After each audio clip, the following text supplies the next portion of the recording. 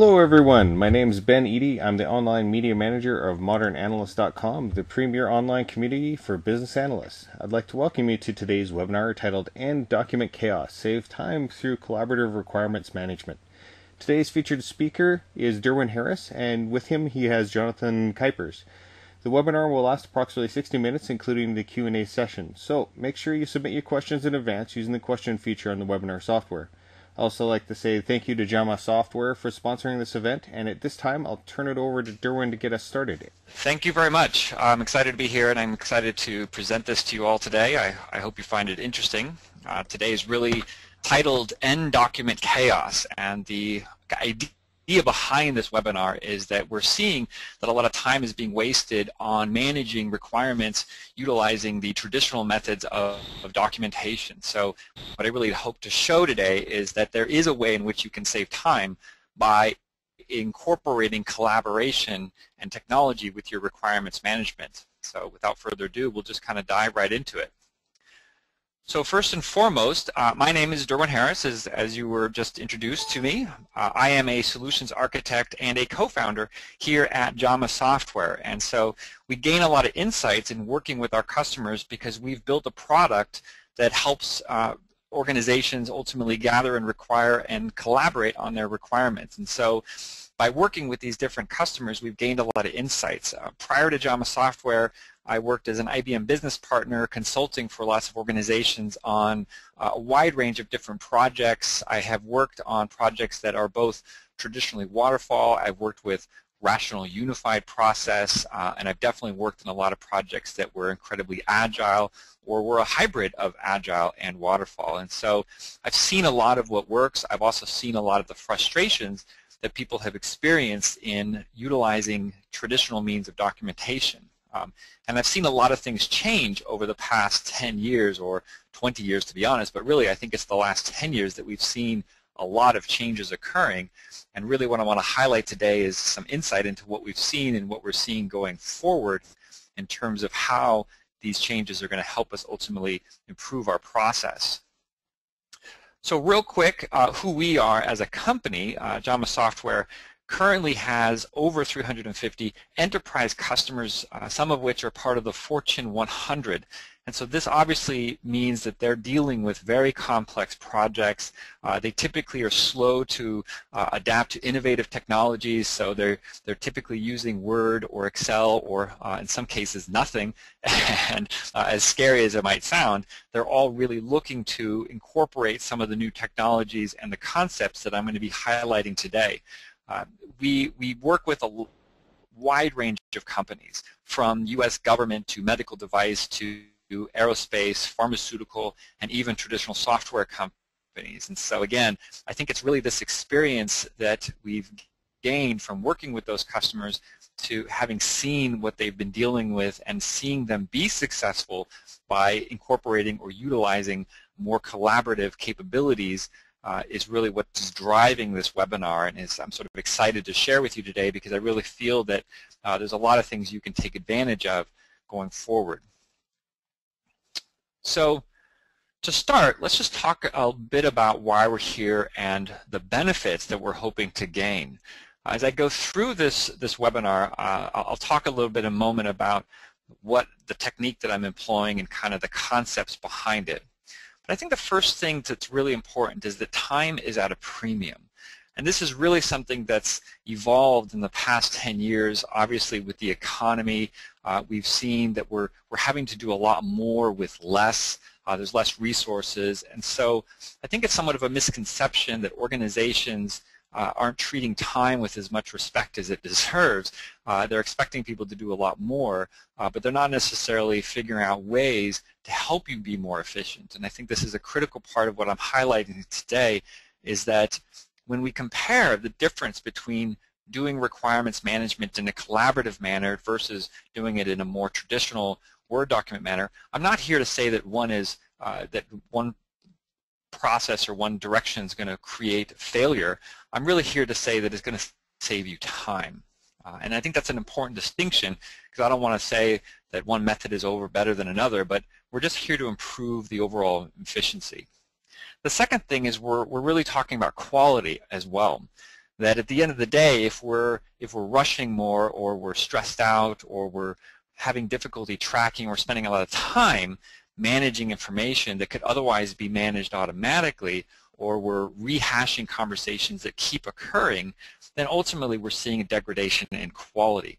Because quality is something that's not just around testing uh, to make sure that the product works, but it's really around making sure that the information at the beginning is documented correctly and that people are all in agreement and in alignment with what we're trying to deliver. And you've heard this time and time again is that the sooner you capture and define this information in an accurate uh, and well-written way, uh, the more likely or the less likely you're going to have defects or problems down the road. So the, so the ability to really make sure that everybody's on, on, uh, on the same page early on is a critical part of this process, and it's ultimately going to save you time. The third item is this concept of change, and again, we've heard a lot about this, uh, and, and we experience it every single day. Change is inevitable no matter how hard you try and write the requirements, no matter how proud you are of the requirements that you've written, uh, it's going to change. Someone's going to come back and ask you to change those requirements or to rewrite them in a way that's more meaningful or uh, to write them in a way that's going to, in accordance with the technical limitations uh, or maybe some kind of reality around the budget or the scope. So there's a lot of things that can cause change and your ability to quickly react to that change and incorporate that change without having to uh, fear that you're missing some information or worst case scenario, as we'll see in the webinar today, is that sometimes people ignore the documents altogether and just simply act on the change. Uh, it's important that we keep this information captured. And the last thing uh, that's really important, I think, and this is something that uh, has really evolved in the past 10 years is that technology itself is, is evolving to in such a state that we're starting to see true collaboration, true capabilities that are going to help you manage this information. I really believe that up until the last even five years, there hasn't been a real tool or solution out there that enables you to incorporate this collaborative concept some of the technologies that we're seeing in the social sphere, such as uh, Facebook and Yammer and all these things, have really been slow to work their way into the business environment. Um, but this ability to really truly collaborate socially is important to pull into the business world. There's obviously uh, huge differences between the social world and the business world, uh, but there's a lot of similarities that we can take advantage of. And that's going to help us ultimately utilize this collaboration. So for today, the way I'm going to demonstrate this, or the way I want to go through this, is I'm going to take two different business analysts. Uh, so the goal here is that we're going to do kind of a day in the life. Obviously, it's going to span multiple days.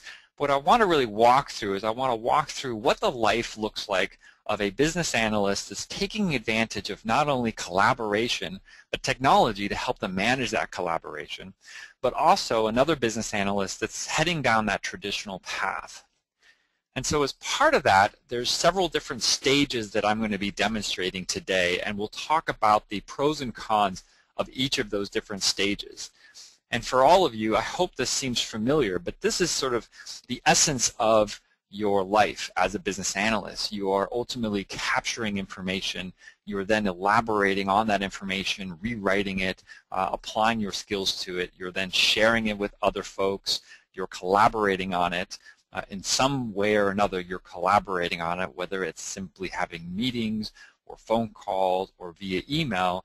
Uh, collaboration is a very broad term. Uh, I'm certainly going to narrow down onto what I feel was the appropriate kind of collaboration. Uh, and then there's obviously change. There's downstream information, which we'll talk about as well. And then there's the concept of all of this being iterative. So I don't want to lead you down the path of thinking that this is uh, purely a waterfall approach. Uh, what I really want to get across is that there is a way in which you can incorporate agile methodologies uh, into any of your processes you're utilizing because uh, and this is actually a whole separate conversation, uh, but it's important to recognize that Agile is really about being collaborative. So if you're looking to improve your process and incorporate agile methodologies, the fact of being collaborative, the fact of being iterative, you're already 90% there. So let's look at this side-by-side -side story and start working through the process of what these lives look like. The capture stage is the very beginning of a project or a process. And what I wanted to do is I wanted to start at the same level. I didn't want to assume that the business analyst on the left is starting with a technology or a solution of any kind. I wanted to assume that they're starting with the same uh, base set of requirements.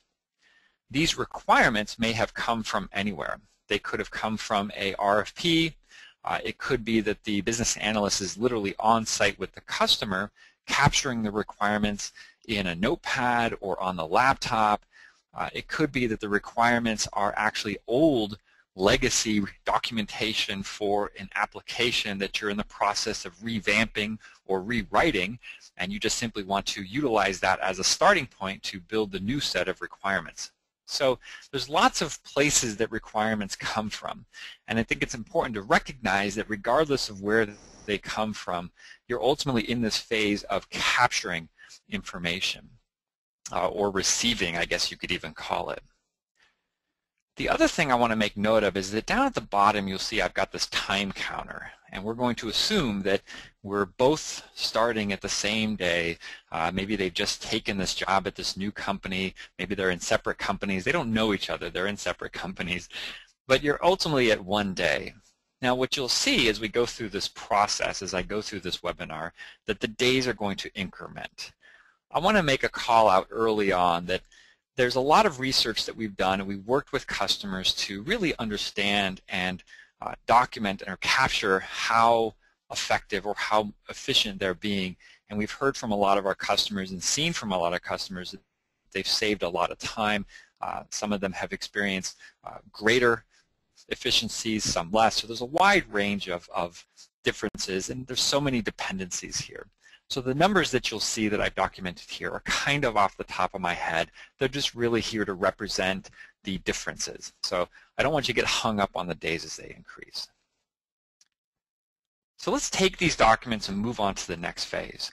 We're now in the elaborate phase. This is where the business analyst has taken that document and brought it back to their office. They're sitting in their cube or their open space or their home office and they're about to utilize what makes them a true business analyst. And they're going to take those documents and begin rewriting them or elaborating or expanding the requirements.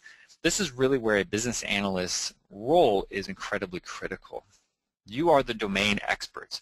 You are the person with the skills and the understanding, uh, hopefully the writing skills as well, to take those requirements and put them in a state or read them in such a way that's going to be understandable by both the customer or the stakeholders, but also the developers or the technicians or the engineers downstream. So this is a very important phase. But I think what's important to note is that the difference between the business analyst on the left and the business analyst on the right is that the one on the left decided, you know what, I'm going to get out of Word. I'm going to take these requirements and I'm going to pull them into a repository of some sort.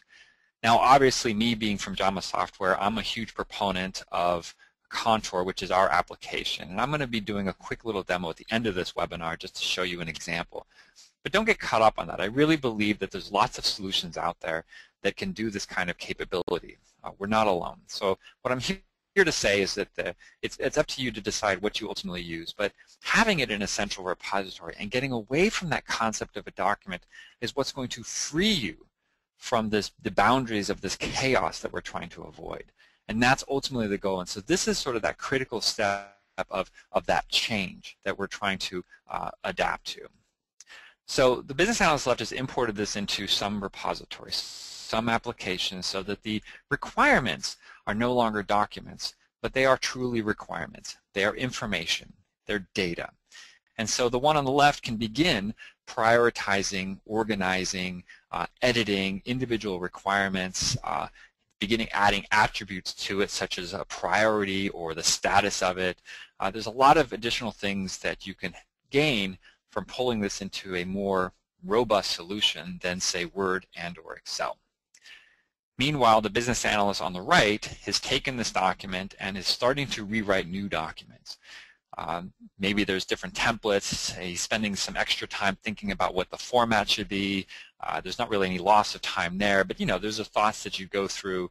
Uh, he's not really able to prioritize easily unless maybe he pulls them into an Excel doc and creates another column for priority. So maybe there's two documents. You're writing one that's the specification writing another that's the Excel doc, who knows, but you end up with this uh, potentially multiple documents. Uh, one of the things he might do is, is as he's editing, he may save it every so often as a version 1, a version 2, just so that if he gets too far along and realizes that uh, he doesn't like the way it's reading, he can go back to a previous version. Uh, there's lots of techniques that we utilize to overcome the limitations of Word.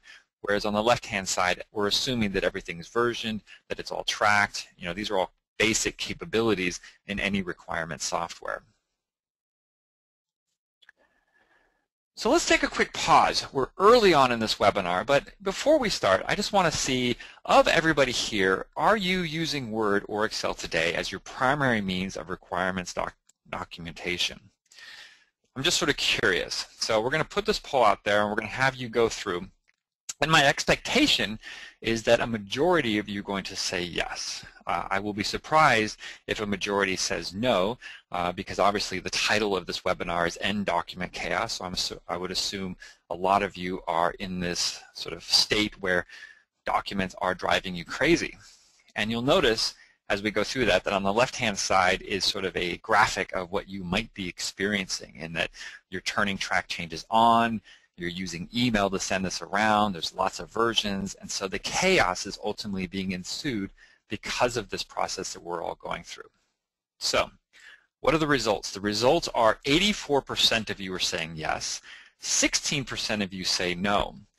So that's interesting. Uh, it's what I would expect. Uh, I'd be very curious of those 16%, those of you who have said no, to sort of see what you thought when you were coming in here. Uh, are you experiencing chaos in some other manner? Uh, but maybe we just save that as a later date. Uh, my email's out there. You can certainly email me, but I'd certainly be curious to know. Those of you who have said yes, I'm assuming that it's because you're experiencing exactly what we're talking about here, and this webinar is, is definitely targeted for those folks. All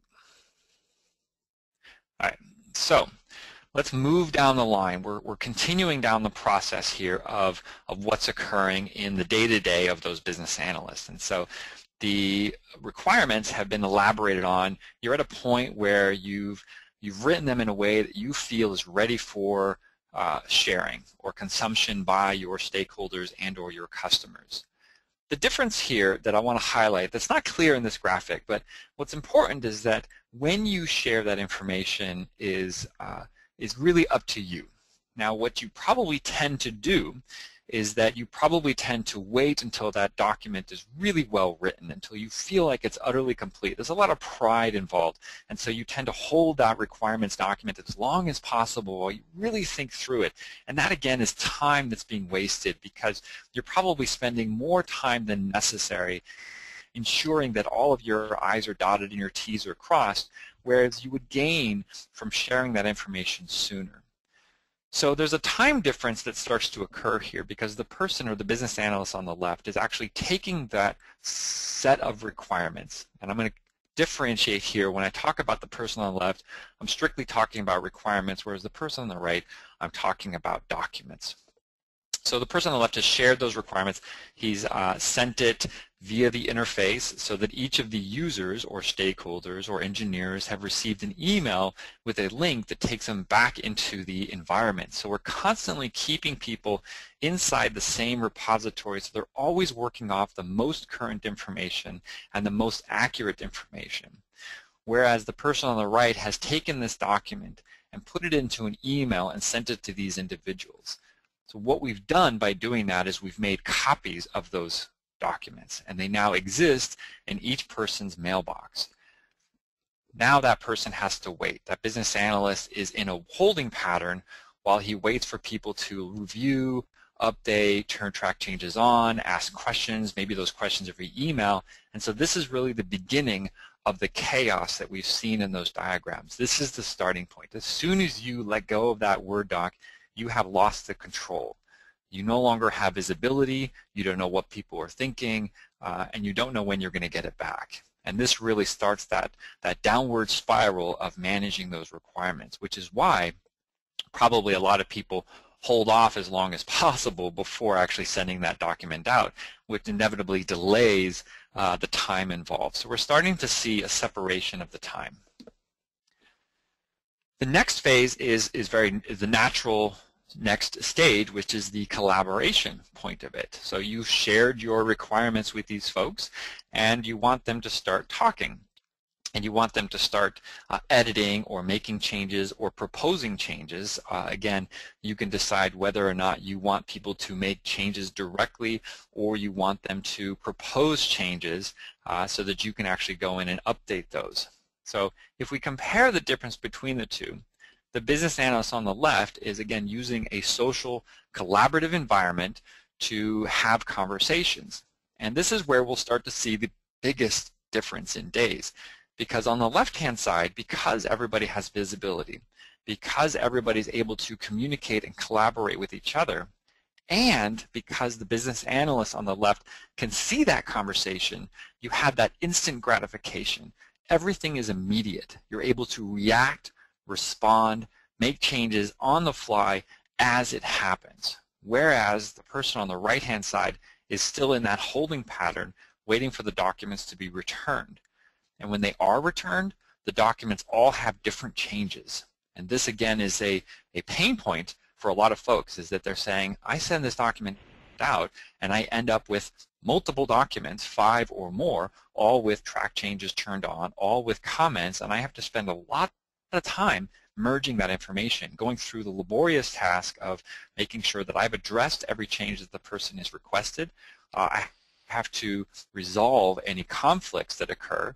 And it's important to note that the business analyst sees those conflicts. The users themselves did not see those conflicts because they're working in silos. They've simply marked up a requirement and they don't know that customer B has marked up that same requirement but with a different idea. Had they been able to communicate and talk to each other, they may have resolved that conflict themselves, and the business analyst can literally sit back and then make the change when it occurs. So this is where we begin to see the biggest separation is that by not having people working in a single environment, a shared environment, you're losing that control and you're adding a lot of stress and a lot of time to your day-to-day -day as you spend that time merging the information. This is also probably why people fear sending these documents out. Uh, I have, just as a side note, I have seen as well that the business analysts on the right have literally taken the document in their hands and walked it to each and every single individual one at a time, or they've sent it to one person and said, hey, when you're done, send it to customer B, and when customer B done, send it to customer C. You can imagine the time that that takes. I would say this 15 days would be triple if you went down a process like that. So the next logical thing is change. Change is something that's going to occur as part of this process. So on the left-hand side, because people have been having a conversation inside the solution, they've been proposing changes, the business analyst has been able to make the changes to the requirements as part of those conversations. And I think this is a fundamental difference in that the business analyst is able to work and operate on an individual requirement. Uh, and so as well, the users downstream or the users that are involved are working on individual requirements. So let's say you've got 50 or 100 requirements and the users are working through it and there's a conversation around requirement number five. Well, I'm able to have a conversation around that requirement and, and ultimately make a change to that requirement. Meanwhile, the users haven't finished the entire review. So this is really something that's happening in parallel, and it's saving us a huge amount of time because it's happening in parallel. There isn't these long delays, and so we don't experience those uh, those emails where you're receiving a document that's a week ago or two weeks ago, and you're going, okay, what was this about? And we're losing that state. We're able to really interact and collaborate on this information, and this is where Agile Manifesto calls out the importance of individuals and interaction. And this is again where I'll say technology has evolved. When the manifesto came out back in 2001, there was no software that allowed us to interact as individuals. Uh, we always had to be in the same room, therefore you had these meeting rooms. But now, with software, you can begin to interact with individuals through a collaborative nature. Meanwhile, the person on the right, and this in my opinion is the, the most frustrating, I know if you probably hear me say that a lot, but let's say that the business analyst has in fact succeeded in merging that all those documents, all those changes, and we're back to one document. There's still a ton of versions that have been saved out in some repository, but there's a document that the business now has in his hand that he thinks represents the most current document. And he's pretty satisfied with that. It took a lot of work, and he's feeling pretty good about himself. He's now going to send that document back to the user and say, thank you all for your feedback. Please re-review. Imagine the world of those downstream or those individuals. They've just received an email. It's probably a week later. It's no longer top of mind. And they have no visibility into all the other changes. And they've now been sent an entire document, again, with no highlights, no track changes because it's impossible to do if everybody turned track changes on and it would be a nightmare to try and read it with all the different colors in there. But they just simply have a new document. And maybe there's a table at the top that said, you know, revision control table that has in it revision 5, uh, changes incorporated from all five stakeholders, changes were around X, Y, and Z. Well, that's helpful, but it's not really giving me any clear idea of what changed. So I now have to re-review, or I'm probably going to want to re-review the entire document.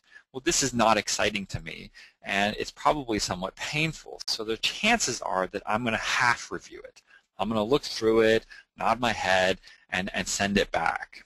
There's still a delay here, but what we're starting to see is we're starting to see uh, that quality go down because people are not engaged as much as they should be engaged. And they're feeling a little frustrated and they're kind of tired and they just want to get done with it. They want to move on.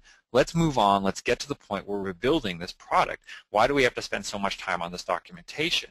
The left-hand side, this is taking a lot less time, and we're getting to the development side sooner. So this is a critical piece uh, and also is helping incorporate that agile concept. So the chaos continues to grow, and this is where it becomes exponential. So one of the things that happens is, let's say that you've actually accomplished uh, the point where you've finished the requirements document. And I want to make another note here that you don't have to finish the entire document. The business analyst on the left has the ability to track or send portions of that document out uh, because I'm no longer tied to this concept of a document. I'm working on data. I'm working on information that just happens to be shared and available and visible to other folks. So again, this is where that iterative concept comes out. I can then, once I've finished a portion of those requirements, I can send it to the engineers. I'm again going to invite them. I don't want to export this out. I want to invite them into the environment so we continue with this concept of everybody working on the same information. The engineers are going to be able to come in, see the requirements, and they're going to be able to create their artifacts. Now what they're creating can be stories if you're more agile, use cases if you're using use cases. Uh, they can be technical requirements or system requirements. Uh, really, I've seen a lot of this kinds of information. And this isn't even talking about business rules and other artifacts that might be incorporated as well. But what we're gaining from this is that we're gaining, or what we need to track is traceability. So what we're asking the engineers to do on the left-hand side is create their requirements and link it to the requirement as it exists in the system. So they're not only able to enter their own information in, but they're connecting it to the information that the business analyst is working on. And so this is going to help uh, avoid any tragic misinformation or lack of connection. And I think importantly, uh, they're also able to see the conversations around those requirements, which are, I'll talk more about later, but those conversations are really important in helping the engineers understand not only the requirement, but the reason behind why the requirement is the way it is. Meanwhile, on the right-hand side, the business analyst has taken that uh, those documents that he's created and sends it to the engineers. Again, we have multiple copies, uh, and the engineers are going to begin creating their technical specifications. The risk here is that there is no connection, and we're dealing yet again with that problem of the document, the versions of the document, who's sharing, the, the creation of the documents, and we've really just entered into an exponential level of chaos where this information is all around, there's conversations happening via email, and nobody really has visibility or understanding. So there's a lot of trust in this process, and there's a lot of uh, stress because there's a lot of unknowns that's occurring, and we're kind of losing track of this thing. And the big risk is that as we move downstream, because there's no connection, because there isn't this sense of uh, connected state between the original requirements and these engineering requirements, we find ourselves no longer going back to the requirements. And this comes up later when we start talking about iteration, but this disconnect really plays a vital role as we move forward. And so this brings us to the, the iterative concept where uh, this process is happening over and over again. And we want to really enable us to be more iterative. We want to enable information to flow upstream and downstream. We want to make sure that uh, if a change occurs, so let's just take an example. The customer comes to the business analyst and says, you know, I know I signed off on those requirements. Uh, I apologize. I was just reading or the government just passed a law and it's causing me to rethink this one requirement. You know, there's a lot of reasons change can occur. But when they come to the business analyst and say this needs to change, it's important that the business analyst is able to quickly see, well, what requirement are we talking about? And what is the downstream impact of that change? What technical requirements are impacted by that? Who's impacted by that? And this is something that's virtually impossible to do unless the, uh, for the business analyst on the right, uh, in a sane way. That same example can happen from the bottom up with developers uh, saying, you know, I'm running into a problem with the technical capabilities. I propose we do this a different way. You're able to look and see to what degree that impacts the requirements. You can get the customer to look at it and agree, and then we're all in collaboration. We're all in agreement, so nothing's getting lost. The person on the right is dealing with lots of documents. And I mentioned the risk of this is that we no longer have any connection. We maybe have a trace matrix that's been created separate from the documents. Someone is responsible for that Excel doc, and so they're managing this traceability. There's lots of communication that's happening back and forth.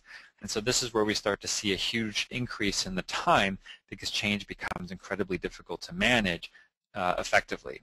So what we end up with is we actually end up just implementing the change ad hoc uh, and we start to lose sight of what the original requirement is. And one might think, well, that's actually going to save you time because you didn't have to go back and look at the requirements. But we've already lost a lot of time. And believe me, you end up losing time down the road because if you're doing that ad hoc, you may find that that's not the case and you find yourself doing a lot of rework. So that's certainly not uh, an excuse.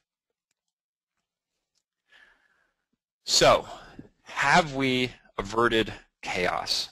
If we take a look at the stats around this, we can see that the Business Analyst 1 has spent approximately 26 hours uh, in this overall process. Again, these are just numbers. Uh, I'm not tying these to any extreme reality, but this is about what we've seen when we've worked with lots of different customers.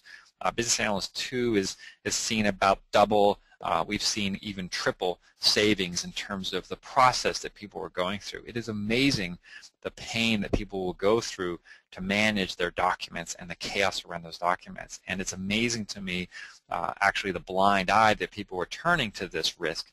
Uh, they're assuming that, hey, this is the way it's been done for decades. Why would we need to change? It's working because you're right. Chances are your projects are successful, uh, they're working, and maybe even the customer's happy. Uh, but the real question is, have you been able to do that in the most efficient way possible? It's always worth looking at what you're doing and finding those improvements and incorporating those improvements. Why continue to do something uh, in a stressful, difficult way when there's a better way? The other thing that's happened, hopefully, is that you've improved the quality of the requirements. Again, because you've had all this visibility, you've had these conversations, we've really been able to incorporate or increase the, the quality of not only the requirements but everything downstream. Meanwhile, the one on the right has potentially increased risk because we've lost that connection. We don't necessarily know if people are reviewing it well. We don't have that visibility. Conversations that happened in meetings aren't being captured. So, uh, it, you know, maybe a couple people are aware of what was decided, but that decision hasn't been shared with everybody else, or it's been long forgotten. You know, these projects can be upwards of years, uh, multiple years long. And I think it's important on the third one that there's less impact on other folks. You know, you may love Word. You may feel that Word is just the easiest thing in the, word, in the world to write in, and you love it. It's you, you, you understand how to do the styling and the tables and the formatting, and you can just sit there and type all day into it, and you're a great writer.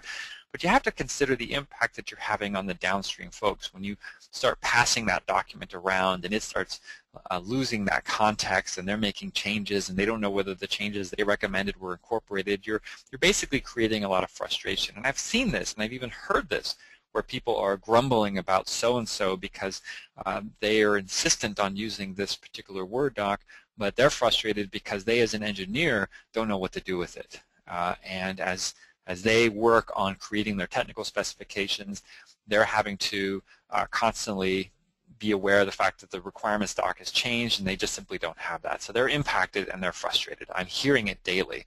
Uh, you may not be hearing it, but I'm hearing it. Uh, the last thing, and I put the no documents in quotes, is because you always have the ability to export data. You should. Uh, but documents is such an odd term. It's like, why are we managing documents? We should be managing requirements. And why are we caught up in this idea that there needs to be a a specification for this and a specification for that and a specification for the other thing when what you really want is you want requirements and you want to make sure that the requirements are met and that the technical requirements are linked to the user requirements and that's what we really should be talking about. We should be talking about information. The second is that connection. You know, that once you've got all this information, you're uh, connecting them together. So you've got this traceability, uh, and that's something that's very difficult to do when you're managing everything inside of documents. Whereas uh, if you have everything inside of documents, there's a good chance you're losing information. Uh, you may not lose requirements, but you may not be actually implementing requirements. That's what I mean by loss of information, and that by working your way downstream and not having this connection, there's a chance that uh, conversations are lost and actual uh, information is lost. The last is this conver is a conversation. I think this is important because I know as a developer that I've seen conversations taking place and I've seen requirements documents and while if I read the requirements documents I get it. I can see what the requirement says. Uh, I may question it. I may not understand why the requirement is stated the way it is. But having that conversation to understand that there was a question raised by maybe the business analyst to the customer, and the customer responded with a little more clarity, and then the business analyst rewrote the requirement to adhere to that uh, in a way that the customer agreed with. Well, that conversation is going to give me a lot of insight, and it's going to avoid any kind of duplicate effort or questions that are raised uh, in addition to it. And I think the last and, and one of the really big benefits is is there's increased stress or decreased stress for the person on the left. You're really trying to uh, improve your lives here. Uh, you're not only improving the product or the process, you're not, you're not just saving the company money, which you are. This is all really important stuff, but you're ultimately reducing the amount of stress that you're experiencing as a business analyst because your job is not necessarily to make sure that you're running around understanding the entire project inside of your head. Your job is to make sure the requirements are well defined and that the product is ultimately successful uh, and helping that communication. I've seen and read a lot uh, and I've experienced what it means to be a business analyst. And what it means to be a business analyst is this communication. You are the liaison between these different entities. And if you're constantly running around back and forth being told different things, you're running into a problem. But if that conversation is captured in an environment, you're able to control that in a meaningful manner and everyone else has that kind of visibility to it. So what I'd like to do is I'm going to take a brief demo here. Uh, and really all I want to highlight is I'm going to highlight one small section of the application of, of Contour. And I'm, again, uh, whatever you, I encourage you to look at other applications, other solutions out there. What The message I'm trying to get across is that that you want to be more collaborative. But to be more collaborative is not just saying, okay, we're going to talk more, we're going to have more meetings, we're going to use email more. It's that you really want to find a way to incorporate uh, the technology that exists today to enable you to really truly be collaborative. So my goal here is to just take what you've what I've shown so far in those last final steps and just walk you through uh, a very simple scenario. And so what I'm going to do is I'm just going to switch over to my environment and, and let's just make sure that I'm I'm logged in. And we're going to go into what I consider a review. So just to give you a quick summary of where we're at, this is a review of a set of requirements. I'm going to avoid the term documentation, uh, but we're going to go ahead and apply a version to it. Now, one of the things that will happen is, is oftentimes with the review, as you've seen in my examples, there's the business analyst and then there's the stakeholders and customers. So the business analyst in this case is the moderator. But I've also invited myself as the approver because I don't want to switch around this view. I want to show you just the different perspectives in a very simple format. So I've invited myself as the customer, so I'm playing both roles at the same time. Now what you'll see here is that this is just like a reading view. I have the same information, so we're not losing that concept of, oh, thank God, I can still read the requirements, which is still really critical. Um, but the important thing is that conversations can begin to occur. Uh, you can see that there's highlights. Uh, people are able to highlight areas or sections and provide their feedback. They can describe what their feedback is. Uh, but suffice it to say that these conversations are being tracked inside of the solution in a more collaborative manner. And there's filters that are provided so I can quickly get access to that information. This is, again, providing efficiency in your process and reducing stress because you're able to focus your attention on areas that demand your attention. And in this case, we can see that there's a conversation that's occurring. One of the stakeholders that I invited proposed a change. Uh, Jackson has come in and indicated what he thinks would work, uh, and she's indicated that works for her, as two other reviewers have agreed with it as well. So what's happened here is that the users that I've invited are working together to come up with the proper requirement itself. And then what this enables me to do, and this is again that parallel activity where I, as the business analyst or the moderator in this case, moderator in this case, can quickly come in and add change and can accept this change. So nothing major is happening here other than the fact that I'm not waiting for these individuals to complete their review. I am able to interact with them, I'm able to communicate with them, and we're all able to do this on a very collaborative manner. Now the other important aspect to this is that as you make changes, again I'm making them in parallel, I want to be able to push these changes out to these individuals. And this is where I might look at, say, the stats page, and the stats page is just going to give me some insight into, well, where is everybody at in this review? This again is that collaboration. I'm seeing everybody. I can see that everyone's 100% complete. Now, if this had been the traditional world and everybody had been complete, they would have emailed me the document and I would have started now the process of merging everything. But because I've been working in parallel as the users have been working, I'm already done. And so there is no lag time. There's no waiting for the me to publish or make all of my changes. I've already made the change. So what I'll do is I'll go ahead and publish an updated revision so that everybody's going to be looking at the most current. So what Contour is doing right now is it's literally bundling up all those changes and sending them out to the users. So they'll receive a notification, and I'm going to switch over to the approver view. And now I'm looking at a review that's in its version 2. Contour has remembered that I was 91% and it's even highlighting which items have changed since the previous review. So this is that reduction in stress, that impact that you're having on your users when you send them a, a, revised document and say, thank you for your input, I've incorporated a bunch of other input and here's the entire document to re-review, and they're having to go through it. It's a, it's a lackluster and an unexciting uh, task to do, whereas now they're really able to come in, just focus on what's changed, look at the comparison so they can truly see the detail of what's changed. Right? So I can see the highlight that the changes occurred. I can see the conversation. And based on this, I as the user can make an intelligent decision and finish the review. And so now the business analyst is aware of the fact that I've finished my review. It's happened in a much more efficient manner, and we've completed this process uh, and everybody, hopefully, at the end of the day, is happy, and we've avoided documents altogether. So with that, let's just do a quick summary.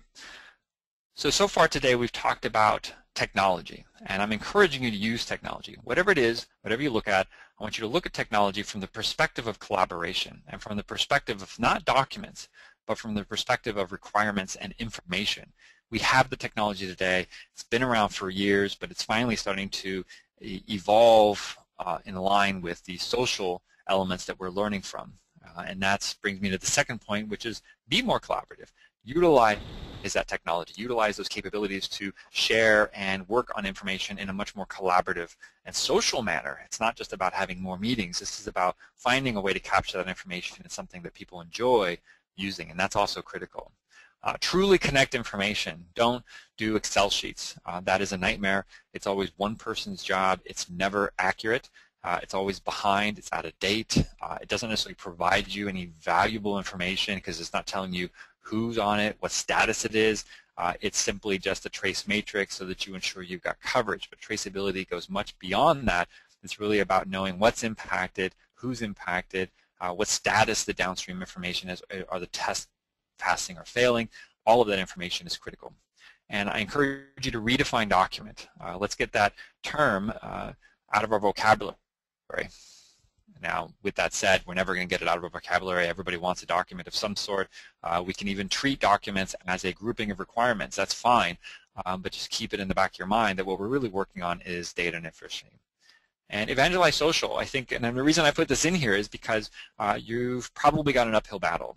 Probably your organization is struggling with the change. There's individuals within the organization that simply don't want to utilize a social or a solution that's not Word. And I think the reality is, is that there's an impact that's occurring all the way downstream throughout the whole organization. Uh, we see a lot of organizations where the, the engineering team, the product managers, the project managers, and some of the business analysts are really excited and super enthusiastic about finding a new way of doing things, but there's always a couple individuals that are just steadfast in, I can't leave the Word document, it's really going to be hard.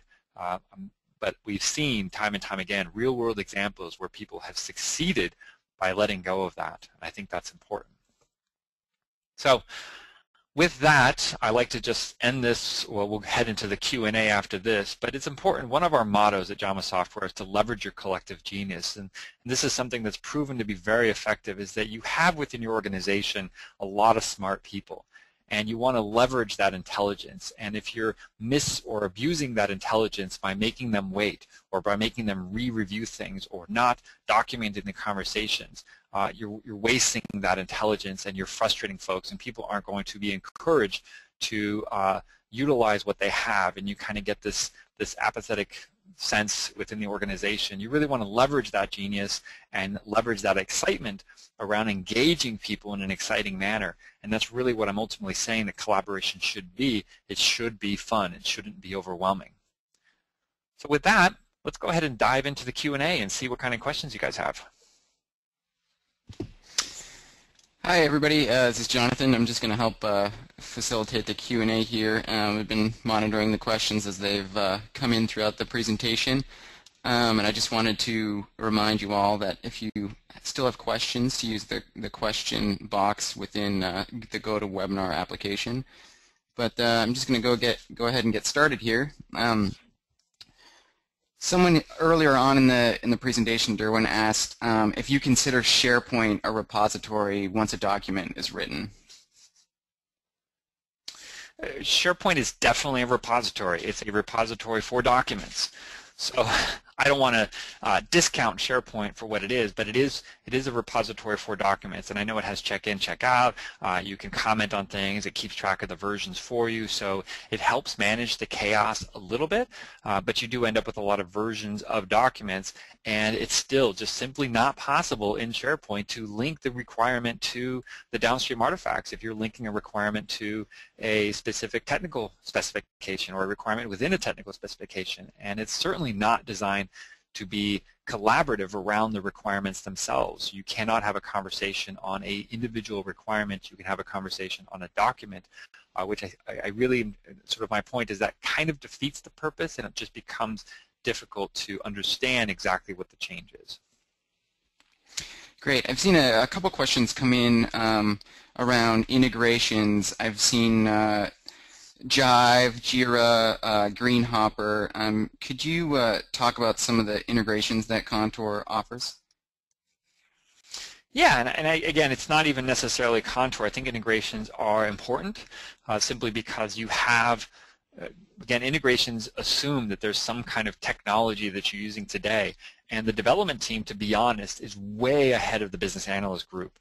and, and in fact, they're way ahead of the product management group. You know, they have had Jira, uh, Rally VersionOne. They've had these solutions out there that are designed for developers, in and around developers. Greenhopper for agile development. Uh, all of these things are very specific to development tasks. But what we're talking about here is there's more, there's typically more documentation around uh, getting to that point. The creation of the requirements, use cases, stories, epics, whatever you're, you're creating happens upstream. And so integrations become critical, uh, having the ability to integrate those requirements with the system. And so that's something that we've believed in at, at JAMA in building contours that we've integrated with uh, HP Quality Center, with Jira, and of course that assumes Greenhopper because Greenhopper is simply a plugin to, to Jira, um, but also Rally as, a, as an agile tool. So we have those integrations out of the box. We believe in that. Great, thanks. Um, question here, um, what if stakeholders are spread out at different locations and don't have the same access to a common location where you want your requirements document to be reviewed? What would be the best approach? Well, if they're if they're distributed everywhere, that's a perfect example where you need a solution that they can all gain access to. Uh, that's that's the approach. Uh, we have lots of organizations that have stakeholders. We have organizations that are simply spread out all over the all over the world and everybody has to be able to work on that central repository. Um, uh, even kind of going back to a document repository, that document has to live somewhere, and you certainly don't want to be sending that around. You're losing control of that. So my, my recommendation is find a way to give them access. Uh, we're, we're in a day and age now where the cloud is becoming ubiquitous, it's becoming popular. Organizations within their IT department is able to expose applications through VPN to other solutions. Uh, being on an airplane is, is really no longer an excuse. Uh, you, you can gain internet access on an airplane. Uh, that's the one excuse I've heard for, for offline or I need a document, a physical document on an airplane. Uh, but it's just becoming less and less important. Uh, the internet's just simply available everywhere and it, it's the, the benefits outweigh any of the drawbacks. Great. Um, I think this question is referring specifically to Contour, but um, if someone wants a printed copy of uh, the the review or the review uh, requirements document at any point, um, are you able to print that out and have a hard copy? You are, and I think that's a good thing to mention is that uh, what I'm really encouraging is the collaboration and working of the requirements in the structure or in the process of your project. Uh, that is, everyone's working off that same information. But there are times, for sure, where you need to export a document uh, or export uh, uh an Excel doc. Uh, in fact, you know, we work with medical device companies who need to export documents for the FDA or uh, that maybe there are instances where you need to export it to a PDF. There's just simply, sometimes that's just the way it works. You have a customer that refuses to receive that via electronic, and so there are those instances where you have to export it. So the solution should be able to do that. I agree with that as well. Great. Um, how do you see the visual aspects of requirements, um, the wireframes, prototyping, for example? Um, can this be tracked via Contour or any other tool for that matter?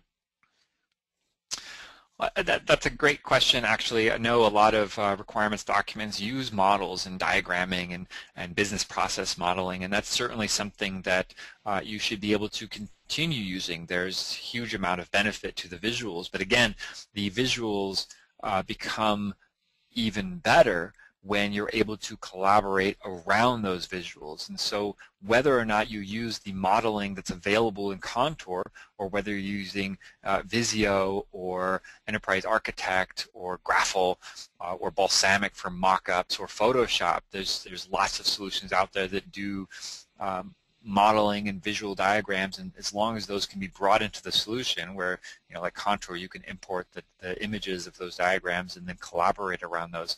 Uh, that's certainly something that's uh, uh, important is the overall process. Great. Um, I have an attendee here um, who says uh, she works in a very document-centric um, environment that, and that's strongly supported by her managers, and she's just wondering how should she convey the benefit of moving away from the paper um, Word or Excel documentation world? Yes, welcome to the world. That, that's that is reality for a lot of folks, I'm afraid, and that's probably why we're we're all here. Uh, you know, it's going to depend on the kind of things that are important to them.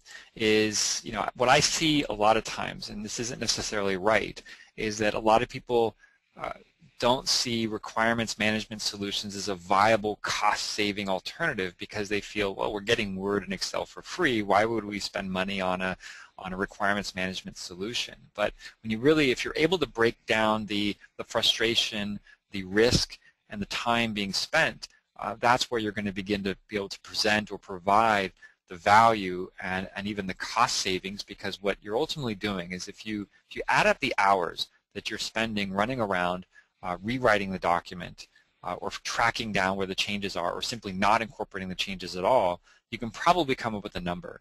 And that number uh, over a year's time span is, is most likely going to add up to a resource. Uh, and that's the kind of information a lot of managers and VPs like to hear is, are we saving on a resource or, because uh, they don't want to necessarily feel like they have to hire someone new, but are we actually saving that kind of money? That's one approach. Uh, I could go on probably quite a bit, and, and that might be something to take offline, but we work with customers all the time who are looking for ways of showing the return on investment, uh, showing the advantages uh, of, of solutions like that to sort of encourage or get those managers buy-in.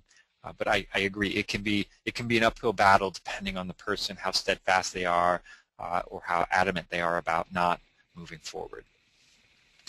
Great. Um, I've seen several questions come in around testing. Um, can you talk a little bit about the testing and QA functionality with, within Contour? Yeah, and again, I think testing is, uh, I, I, highlight, I've sort of skimmed over it when I was going through the downstream concept. You know, downstream can go multiple levels. You know, in my example, I did downstream to the, just the engineers, but it obviously continues from there down to uh, the QA team who's going to be uh, creating the test cases. Uh, I, here again, I really believe that the test cases or the validation or the verification, uh, whatever it is that you're linking to your use cases or your requirements should be in the system. Now, whether it's in the system via collaboration with H or integration with HP Quality Center uh, or a link to an external information, however that works, it's important that it's in the same place. And so certainly, you know, Contour again, this has been one of those things a lot of people have asked for is can we do testing? Because that's like the critical, the critical traceability, and the answer is of course yes. Great. Um, how do you manage um, baselines and, and, version control?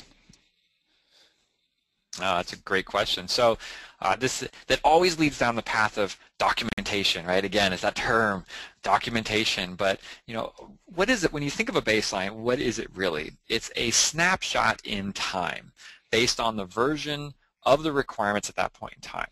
So let's say we're working on 50 requirements and they're all moving forward at different paces. I've edited requirement 1 three times. I've edited requirement 4 10 times. That means that they're at different stages uh, of their evolution. What the baseline does is it takes a snapshot that represents the current version of all of the requirements so that you have that snapshot so that you can go back at a later date and do a comparison between the different baselines. Again, a baseline is a snapshot based on a milestone, a signature, a sign-off. So if you're doing a review, like I did in my example, once you get that signature or that completion from the different individuals, you should create a baseline. That way you have that record of that information. And Contour actually does that automatically, uh, but baselines are, are, are that. I wouldn't call a baseline a document, but a lot of times that's what people do is they say, this document is the baseline, we've got signature and we're going to store it somewhere. Uh, does the same thing, but it's just a group of requirements. Or other artifacts, textual items, uh, signatures, test cases, you know, all that can be included in a baseline. Great, thanks, Derwyn. I think uh, that brings us to the end of our time here. Kind of perfect timing, actually. Um, but uh, there still have been um, several questions here, and a lot of these are um, great. Um, we're happy to respond offline. Um, I've tried to ask the questions that are most applicable to, to everyone here, but uh, appreciate um, everyone and everyone's questions. So hopefully we can touch base offline. Awesome. Thanks, guys. Thank you to Derwyn and Jonathan for a very informative presentation. Thank you to everyone for attending today's Modern Analyst webinar. I wanted to point out that the webinar, along with the slides, will be archived at modernanalyst.com within a few days. And this concludes today's event, so we hope you have a great day. Thank you. Thank you.